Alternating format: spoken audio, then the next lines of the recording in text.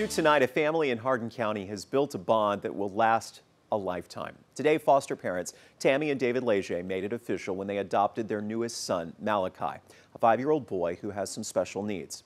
As 12 News reporter James Grant explains, there wasn't a dry eye in the Hardin County Courthouse.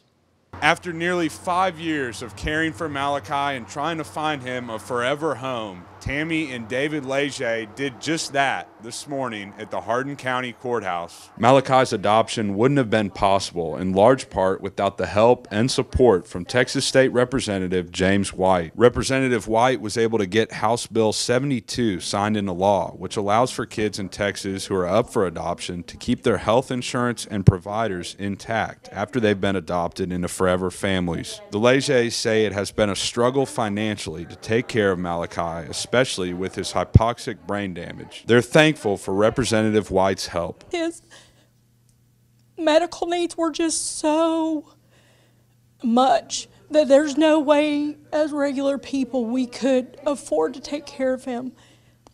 But now he keeps his insurance um, and he's going to be a, he's a Leger today he became a Leger